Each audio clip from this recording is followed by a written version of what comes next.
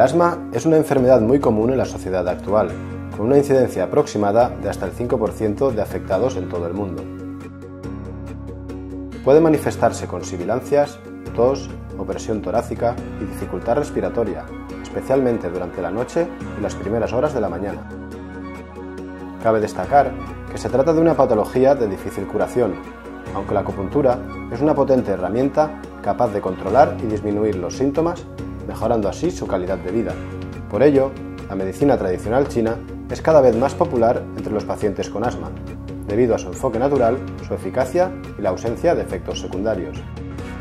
Así que, si usted sufre de esta patología, no dude en visitar las clínicas Guananmen, en donde los mejores profesionales de la medicina tradicional china pondrán a su disposición los tratamientos más adecuados para resolver esta molesta afección.